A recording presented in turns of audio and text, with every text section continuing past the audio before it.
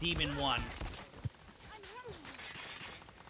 Yeah, Ning gonna pick up one. Now sitting behind the head glitch. Picks up two and three, and unfortunately, Storm a little too aggressive on the play there. Ning definitely got to call out on bomb down there. Shorty picked up by Ning, and the double kill. The ace comes through for Ning.